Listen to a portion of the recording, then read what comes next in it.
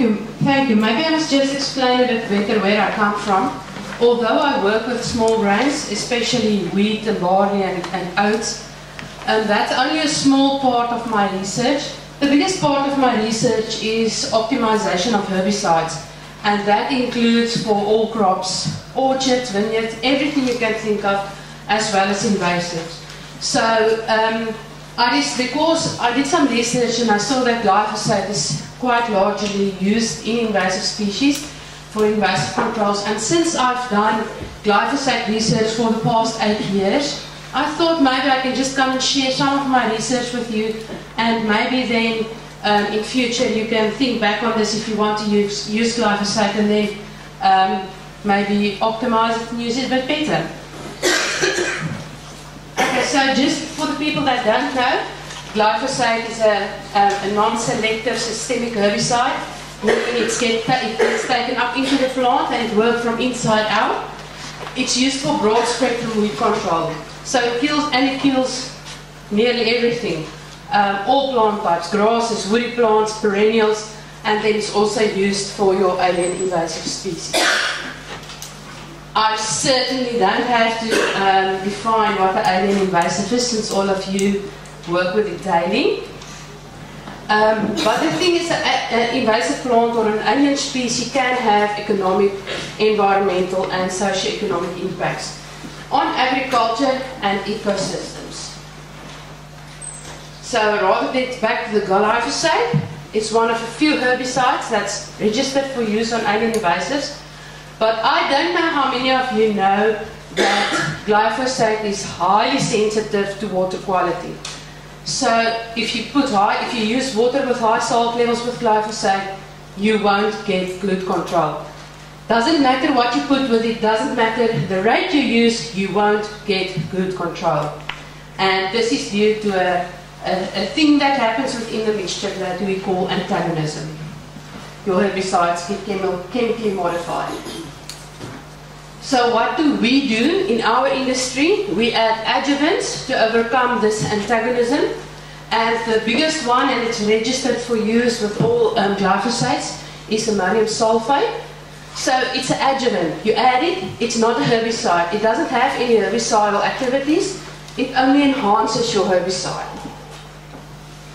So there's several, several adjuvants um, registered for use with glyphosate. And, what, then, then why can't you use anything?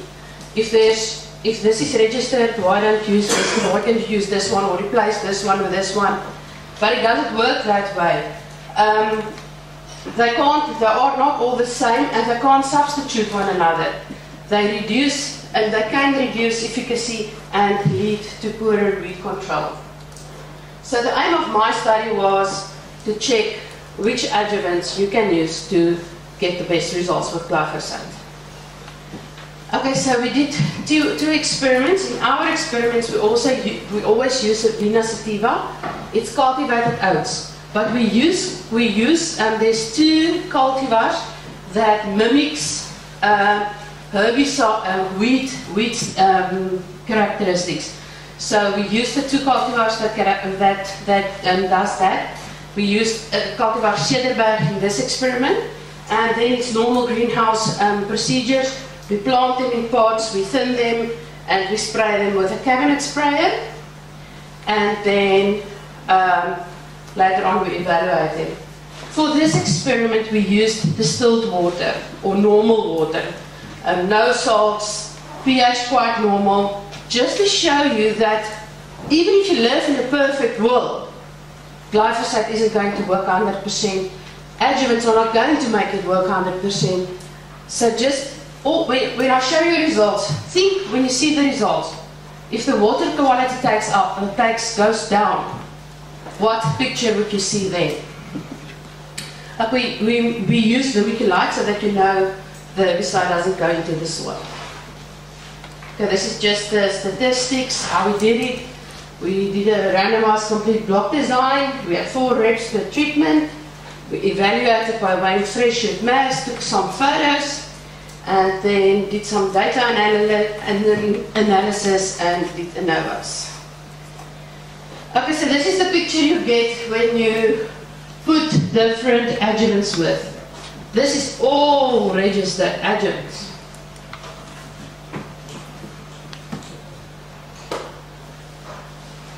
Less than 10% control if you add it with glyphosate. It's registered. Compare it with this one, more than 90%. It's registered. And that's what's making it very. For instance, the lady that talked before me, what, what if she maybe used that one?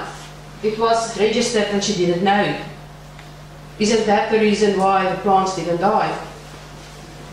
Now I go next season and use this one, and you think it just was a good season. You actually just made a better choice of adjuvant. Those three is alarming, alarming, less than 50%, and it's registered for use with glyphosate. So if you look at the plants, those three I just show you there. There's other plants, but those three are just so happy growing. It actually, there's the control, but these ones are picking up. You, it looks as if you, you put some fertilizer with it. so now you want to eradicate your invasive, but now next month it's growing happily and healthily because you added some fertilizer. So I'll just repeat and say antagonism occurred when the spreader or the sticker was mixed. That's that plants that grow like it. And then you get low percentages control with buffer emitters and stickers and plant oil seem to have a relatively good influence on glyphosate. Okay, so now I talked about I talked to you about ammonium sulfate. Ammonium sulfate just um, make your water nice and easy. So it takes out salts if there's salts. It makes it a nice water to work with. And just check what happens when you add ammonium sulfate. You remember those three there? Ammonium sulfate, check. The correct choice, the correct knowledge. That's possible. And but the other problem is, and I can talk for hours about this. If you just do an ammonium sulfate roll, and you take out all the wetters and the stickers and the oils, and you do an ammonium sulfate roll, you will get the blue one because not ammonium sulfates are effective. Some of them taste like water. Some of them is like cream soda, they only have the green color. So, I would really urge you to, maybe if you're really using glyphosate or uh, other herbicides in a big way, and you want to make the right decision, maybe just one day phone me or send me an email and I can actually give you the, because I've tested hundreds of products. I know, I know what to use. Just give me an email and I'll send you the names that maybe rather use them than the cream soda. okay, so I said various adjuvants have a positive effect, but using the, the wrong one will bring you nothing, just input costs. Know your adjuvants, make informed choices, and find the people that knows. There's really, there's not a lot of people with adjuvant background, but you can phone me, and if I don't know, I will know somebody that will know. So we will solve your problem, I promise. Okay, but like I said, in the end, it doesn't matter which method you use. Um, my herbicides, mechanical eradication, mechanical eradication, anything. In the end, it's important to um, minimize the risk of reinvasion of invasives or of crop weeds. And then I would just like to thank the Agricultural Research Council for making the study possible, the Winter Cereal Trust for funding the study, Patricia Mofokeng was my technician, and then I forgot the most important one here at the bottom, and I would like to thank the South African Weed Science Society, who actually funded me for attending this, con this, this symposium, and to show you that the commercial or the industrial side actually has the impact on the invasive side. We can work together. Thank you.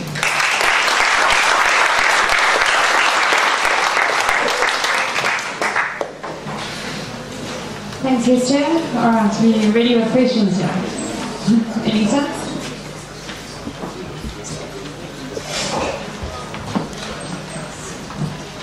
Thanks, Hestia. Just a comment. Um, this is an, a real eye-opener, and this is something I wanted to hear because we've been talking about adjuvants, and uh, in the sense that we, we've been wondering, you know, or, or should we try something, should we do something different? And adjuvants came up as a, a possible way of improving our, our, the efficacy of what we're doing.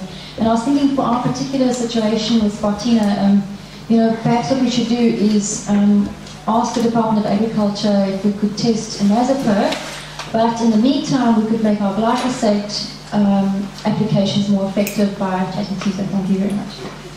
I just want to say that it also depends on if you mix your water, what kind of carrier water you use for your mixture. Because if you just, if you got a, um, for instance, I know a lot of producers use, use borehole water, and it's poor water can um, water poor water quality. It's got a lot of iron stuff. So it depends on which water you use. So the kind of water you use will determine which adjuvant you use. So maybe if you want to talk in future, you're more than welcome to contact me. And I think if I can help you, we'll do that. Um, um, my question, I have the advantage of knowing, knowing nothing about herb, herbicides or adjuvants. Um, but what bothers me is if I'm an eater working on Spartina or, I don't know, Graham Harding working on Prosopis, do I have to do this whole range of tests using all these adjuvants or can I rely on your oats? Why should I rely on your oats to tell me what's going to work best on Spartina or mesquite? Luckily, glyphosate is a universal herbicide. If it works on a we've tested it on several. All these adjuvants, the, the, how this started is I do trials for companies before they get the products registered. So there's been field trials, there's been numerous trials on everything that you can spray glyphosate on. So you don't ever have to worry about my oats um, with respect to a cacti or a dandelion or a or your grass in front of all your lawn. That's amazing. it's been years research, so it's quite a vast amount of research. But yet you'd be more convinced if you did show that at least two or three other species that the pattern was the same. Yeah, as, as a, again, I'm not fit, I'm naive, I have to do what Okay, let, okay, let me tell you. First of all, if glyphosate, we did a lot of work with, with glyphosate and paraquat because they are pre-emergence. The whole thing with us is the problem arises when, um, I don't know if you know about herbicide resistance problems that are that's currently in South Africa. I don't know if, if you know about it, but it's huge. We are really struggling. So we moved to um, different ways of doing this. That's why we went to adjuvants. So we tested it on, we have done it on several crops. We planted actual crops and we tried, we planted several weeds and we tried broadleaf weeds, grass weeds. But like I said, if I have to explain to you and show to you eight years of research, I can have the symposium all on my own. we can organize something like that in a free state and we all can come get very cold. So, so we have data and you're more than welcome to contact me. Yeah, that's the last question. Thank you. Um, we of us who don't know about herbicides have been warned that the adjuvants are toxic to aquatic vertebrates, so using them in a, in a wetland system is, is, is a no-no. What do you do you say to that? Um, there was a, a, a, series of adjuvants that actually did that. Um, I know of the, the, one, one, the one that we used in herbicides was Agral 90.